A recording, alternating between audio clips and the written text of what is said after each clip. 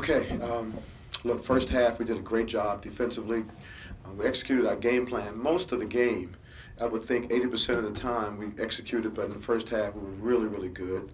Um, and our offense was clicking in the first half as far as finding the seams in, the, in their zone, uh, converting in the paint. Our forwards did a good job finding the open gaps. Uh, we still need to uh, we still need to convert more in the paint.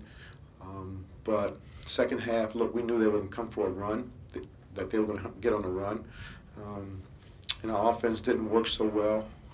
But again, our defense was solid for the most part. Um, and we didn't locate Mustafa Jones a few times on the three. And he got loose on Bishop, got loose on Myles, and I thought Mike Williams did a terrific job face guarding him for about four or five possessions. That was key. I think they got it to 11, maybe nine, and uh, we sort of stayed with him so they wouldn't get open, so he wouldn't get open. And, he, and it was good. It, look, it was something that doesn't show up in the box score, but again, that's what I like. I like guys who get things done that don't show up in the box score. And uh, two guys who had big bounce back games were struggling Sunday, Bishop and Junior. What do you think of their performances? Well, they were great. I, I, hate to take them off the floor, you know. I mean, Bishop made some great plays, just fundamentally sound plays, and that's been a big emphasis for us from day one. You don't have to jump in the air. I know he's athletic. I know he's quick. Um, he's got all these terrific athleticism and, and that sort of thing, but the best play is a jump stop to a kick out or a dime to your big in the, in the paint. Um, being patient offensively, running your sets, and if you don't get anything, let the zone spread out, then find your seams. I thought he did great.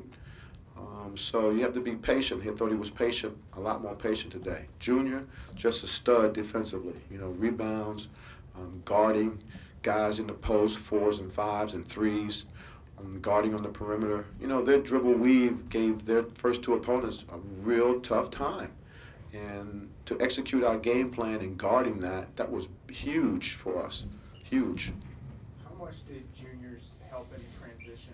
You know, just what he did in transition against a fast break kind of impact Well, I thought we all got back pretty well. Um, you know, I think when they got on, on breaks was we turned the ball over. Um, and I thought that was for the most part. But I thought everybody got back pretty well. But I thought Junior in the half court, and we did it overall a great job defensively. Um, but, you know, Junior's our key. He's our key defender. Greg does a great job defensively in the last two games. You know, uh, uh Larsen in the GW game, I think, scored seven. I don't know, something like that. He locked them down, and um, he did a great job tonight defensively. We just have to do a little bit better job offensively. Greg got into a, a little bit of uh, back and forth with Xavier Harris. Uh, you know, kind of pulled everybody off the floor. What did you say to the team at that point to kind of calm them all down? I didn't really have to say anything. I was just waiting to see what the referee ruling was going to be. Um, you know, we, we want to compete with composure. I think Greg felt a little frustration of not being able to convert as much in the paint, and then the kid snapped the ball from him.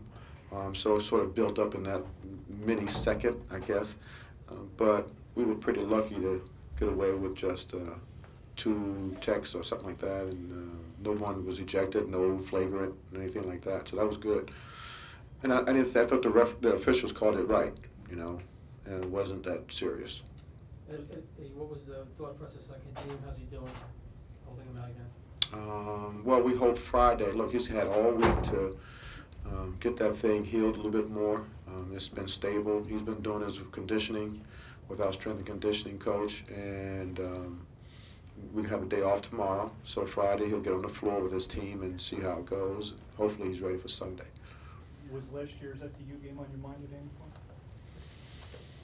Good question. Um, yeah, it was in the back of my mind a little bit. I mean, Greg does a great job with his team, and they had won. They, look, they won down at Hawk Hill. Was that what you go?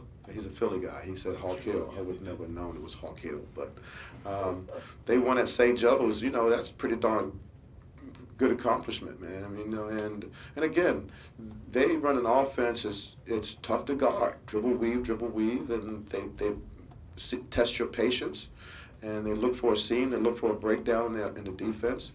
Um, but look, Mustafa Jones hit a three down there, just like last year. They hit a big three with a you know short clock. Um, but every game is like that. You know, for me, going into a game, you just you just think you you won't even score a point. You might get beat eighty to nothing. That's how coaches think. The team seemed a little bit flat to start the second half. Yeah, I mean, I, I Myles Mack was struggling a little bit. How Yeah. big was that three that he hit? towards the end? Yeah, uh, that was good. I asked the coaches. I said, "Well, look, will they check to see if he got it off in time?" He said, "No, they can't do that. They'll check to see if a three, if it's a three. So I was I was glad about that. But um, but he, you know, it was good. Um, just one of those things, you know. I mean, we've had those happen to us in the past. I mean, even last year, they hit a three at the end of a clock. That was a big, a big shot for them.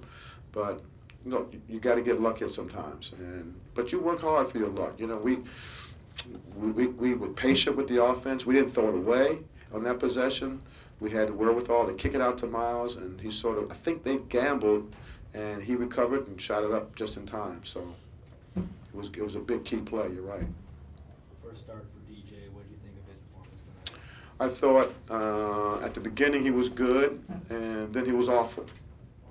You know, I can say that about a freshman. I wouldn't say that about a sophomore or junior. I can get away. Uh, he was awful, just plain awful. Um, but uh, we love him. We think he's got a great upside.